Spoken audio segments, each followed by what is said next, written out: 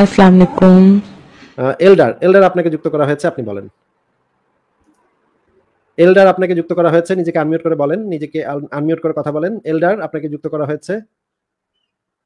না আপনি device not connected হয়ে গেছে আপনার। এলডার আপনার ডিভাইস নট কানেক্টেড হয়ে গেছে। এখন হ্যাঁ এখন বলেন হ্যাঁ এখন বলেন। শোনা যাচ্ছে? হ্যাঁ শোনা যাচ্ছে বলেন। যেহেতু বিয়ে নিয়ে কথা আসছে তো খ্রিস্টান এবং মুসলিম ধর্ম অনুসারে আমি আসলে এসে চলে আসছি মানে সাবজেক্টে চলে আসতে যাচ্ছি যেহেতু মুসলিমের খ্রিস্টান ধর্মে বলা হয়েছে যে and ইভ, যেটা হচ্ছে আদম এন্ড হাওয়া। হ্যাঁ হ্যাঁ বলেন। হ্যাঁ বলেন শুনতে পাচ্ছি বলেন। আদম এবং হাওয়া যে যে তাদের সেক্সুয়াল ইন্টারকোর্স এর মাধ্যমে তারা হচ্ছে গিয়ে মানব জাতির আসলে তৈরি করলেন। তাই তো? হ্যাঁ হ্যাঁ বলেন।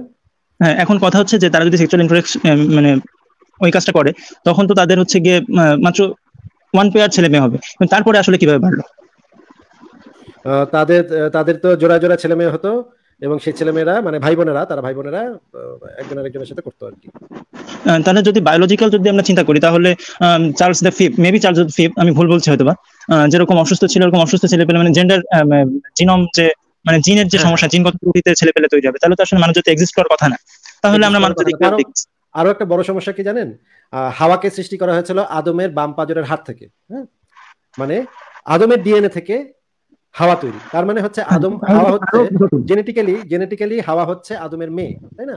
মনে করেন আমার শরীর থেকে কোন একটা কোষ নিয়ে বা আমার স্পার্ম নিয়ে যদি একটা বাচ্চা উৎপাদন করা হয় সেটা তো আমার মেয়ে বা ছেলে হবে তাই না? হ্যাঁ হ্যাঁ।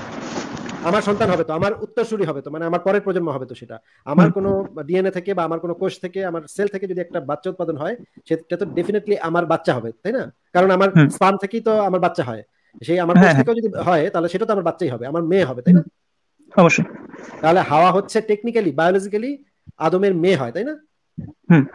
এবং তাদের ডিএনএ হান্ড্রেড পার্সেন্ট ম্যাচ করে নাকি?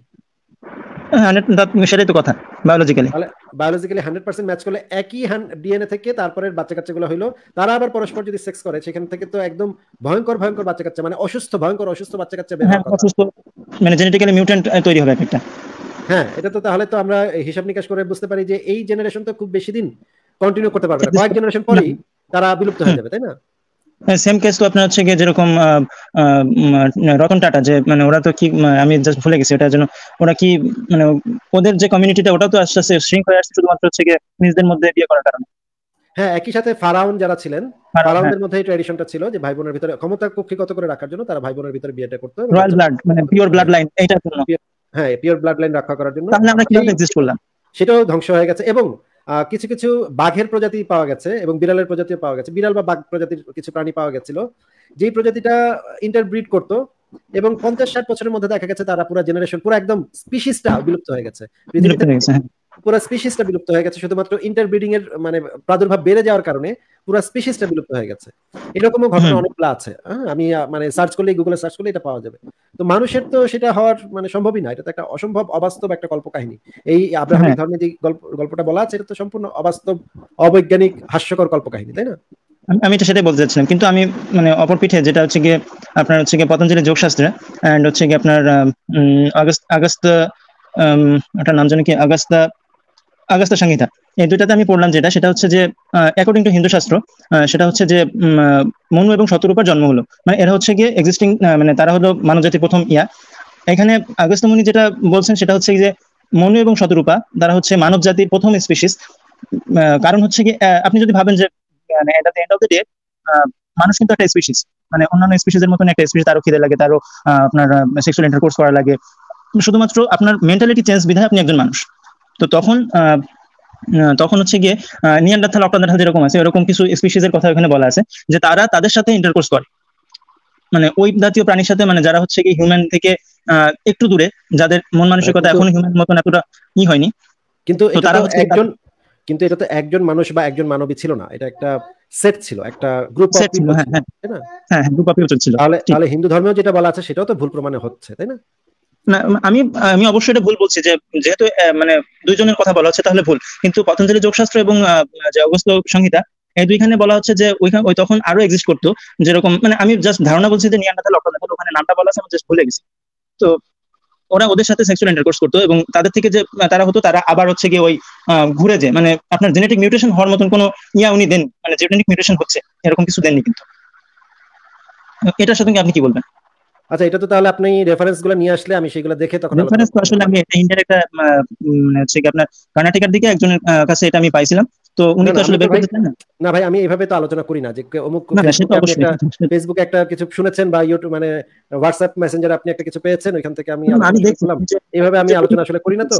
আপনার যদি সেই জিনিসটা কোনো একটা জিনিস আলোচনা করতে হবে বলতে হয় তাহলে সেই জিনিসটা দলিল সহ রেফারেন্স সহ বই মূল বইটা প্রাইমারি সোর্স সহ সেটা নিয়ে আসতে হবে আমি সেটা দেখে তখন সেটা নিয়ে আলোচনা করতে পারব। কারণ আমাদের আচ্ছা, আলোচনাগুলো হয় আপনি কি দেখা মানে আপনি নিজে কি যদি আপনি কি কষ্ট না হয় তাহলে আপনি কি বের করতে পারবেন? এখন তো বের করা আমার জন্য একটু কঠিন ভাই আমি আপনি তাহলে একটু বের করেন বের করে রেফারেন্সগুলো একটু একত্রিত করেন আমার কাছে আমি হচ্ছে কি মূল পাণ্ডুলিপি দেখছি যার কারণে আমার কাছে রেফারেন্সটা নেই। তাহলে আপনি একটু খোঁজেন খুঁজে একটু মানে আন্ডারলাইন করেন কোন কোন কোন বিষয়টা নিয়ে কোন চ্যাপ্টারটা নিয়ে আপনি কথা বলতে চান বা আলোচনা করতে চান। তারপরে আপনি একদিন যুক্ত হন তখন আমি সেটা নিয়ে পড়ে তারপরে বলতে পারব। কিন্তু আমি তো এইভাবে না পড়ে না জেনে হুটহাট করে আমি কথা বলি না ভাই sorry thank you thank you ঠিক আছে তাহলে আপনি কি আর কিছু বলবেন? আসলে পরে বলব। এখন আসলে ওইভাবে রেফারেন্স নিয়ে যেহেতু আমি কি বল বাসা বাইরে থেকে আসলাম রেফারেন্স সহকারে আমি পরের দিন আসব। আচ্ছা আচ্ছা ঠিক আছে তাহলে আপনাকে বিদায় জানাচ্ছি। ভালো থাকবেন ভাই আবার কথা হবে পরে। থ্যাংক ইউ আচ্ছা ঠিক আছে। তাহলে আরেকজনকে যুক্ত করি। শিপলু দুর্দানি আপনাকে যুক্ত করা হয়েছে। শিপলু আপনি বলেন তাহলে।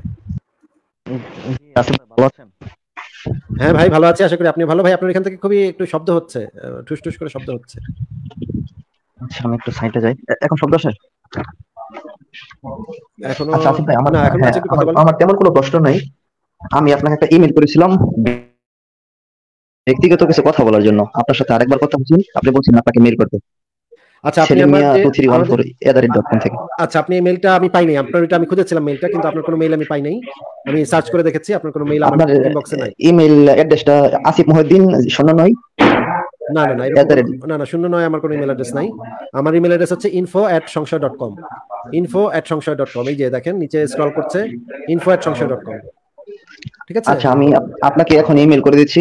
আমি আপনার খুব কাছাকাছি আসি আপনার দীর্ঘদিনের ফলোয়ার আমি। আপনার সাথে আমি একটু কথা বলতে চাই। আমি এখন ইমেল করতেছি। আচ্ছা ঠিক আছে মেল করেন তাহলে পরে কথা হবে আপনার সাথে ঠিক আছে? জি ভাই, ধন্যবাদ। আরেকজনকে যুক্ত করি। আহ, অনেকেই যুক্ত হওয়ার চেষ্টা করছেন আমি একজন একজন করে যুক্ত করছি।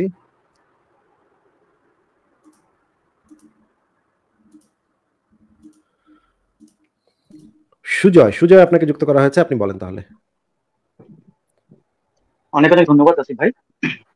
আচ্ছা আমি অডিবেল আমি কি আমার কথা কি শোনা যাচ্ছে? হ্যাঁ হ্যাঁ শোনা যাচ্ছে। হ্যাঁ পরিষ্কার শোনা যাচ্ছে বলেন। এটা আমার অনেক সৌভাগ্য যে আমি আপনার সঙ্গে কথা বলার সুযোগ পেলাম। এবং আপনার সঙ্গে আমি যে বিষয়ে নিয়ে কথা বলতে চাই সেটা হচ্ছে যে আপনার মত অনুসারে পৃথিবী দেখুন আমার মত অনুসারে পৃথিবীর সব ধর্মই জঘন্য ধর্ম। মানে ধর্ম কনসেপ্টটা একটা জঘন্য কনসেপ্ট কিন্তু আপনার মত অনুসারে সব থেকে জঘন্য ধর্ম আপনার জ্ঞানী কোনটা বলে মনে হয়? সব থেকে জঘন্য ধর্ম বলতে গেলে এটা তো আসলে এরকম কোনো স্কেল নাই। এক একটা ধর্মের এক একটা দিক হয়তো খারাপ, এই দিকটা হয়তো বেশি খারাপ, আবার ওই ধর্মের আবার আরেকটা জিনিস বেশি খারাপ, এই ধর্মের হয়তো আরেকটা জিনিস বেশি খারাপ।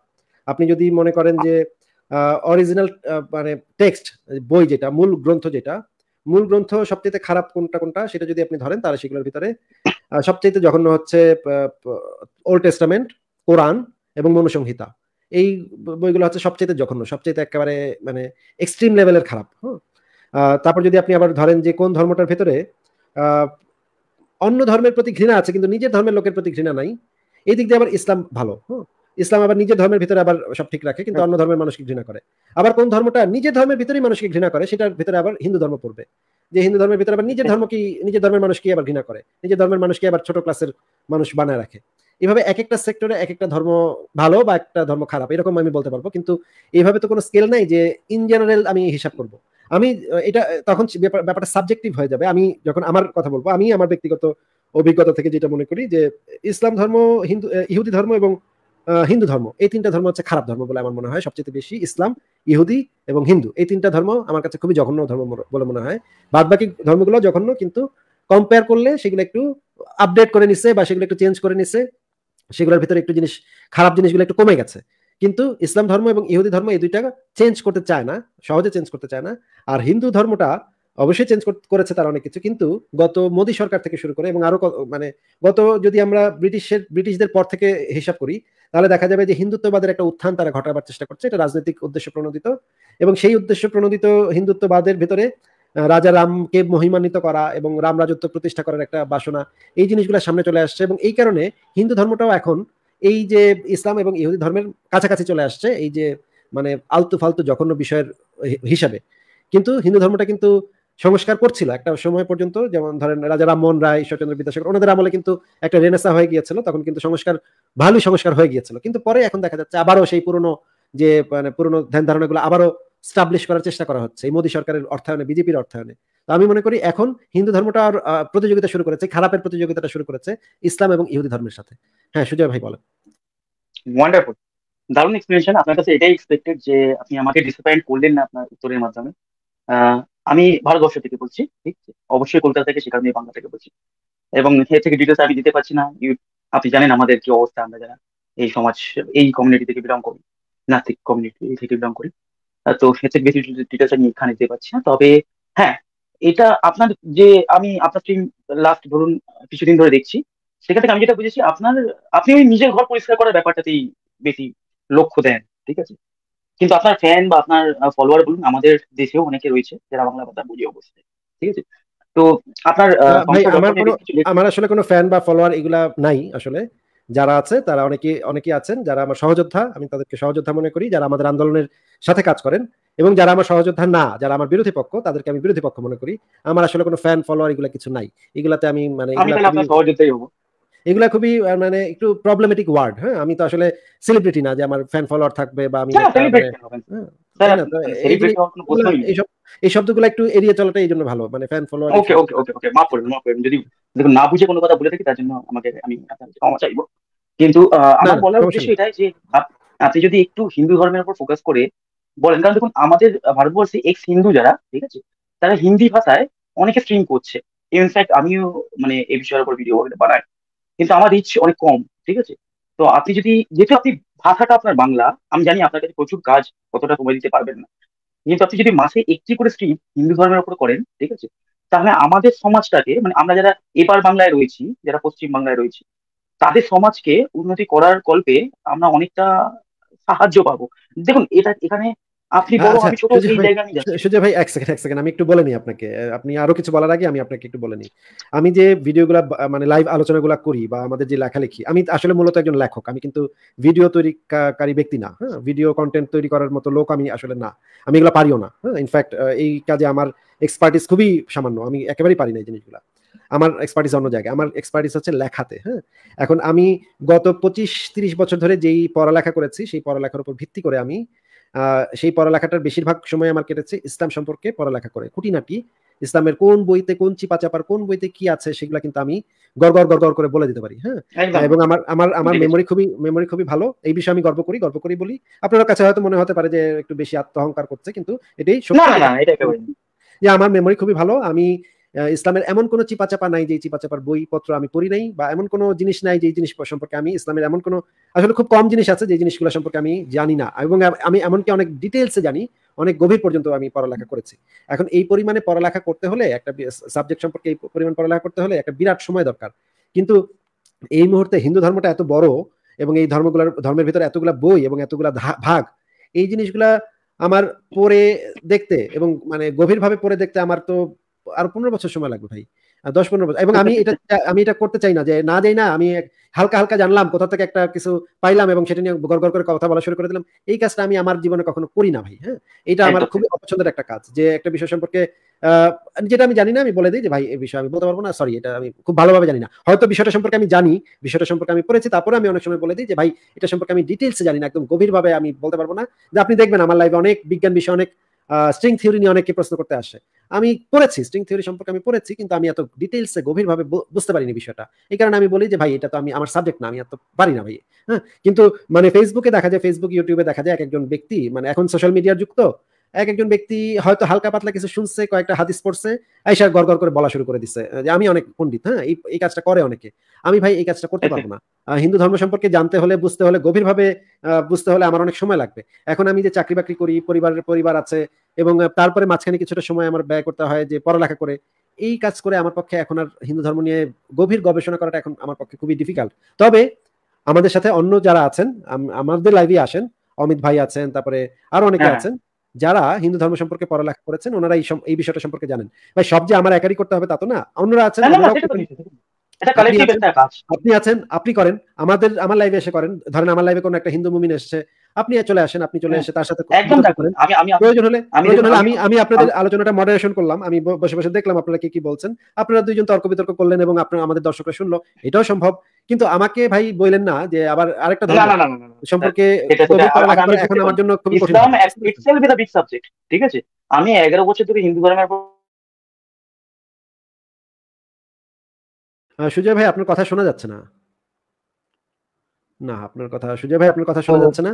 হ্যাঁ, এবার আরও বিষয়গুলো পড়াশোনা পড়ালেখা করতে গেলে মানে আমারও তো পরিবার আছে আমাকে সেটা চালাতে হয় ঠিক আছে? মানে এটা করে তো আর আমি পয়সা রোজগার করতে পারব না ঠিক আছে? তো সেই কারণে আমাকে পয়সা রোজগারের উদ্দেশ্যে আমাকে হয়তো মানে টাকা রোজগার উদ্দেশ্যে আমাকে অন্যান্য কাজও করতে হয় যে কাজ করে আমি ধরুন আপনার কাছে আসছি। আপনাকে আমার রিকোয়েস্ট রইল আমি চেষ্টা করব আপনার লাইভে মানে আমি যদি শিডিউলটা পাই আমি আপনার হিসাবে আমি শিডিউলটা বানাবো। আপনি হিন্দু কোনো মমিন আছে মানে আপনার ভাষায় হিন্দু মমিন আমাদের এখানে আমরা ওগুলোকে ভণ্ড বলি ঠিক আছে আমাদের কলকাতাতে।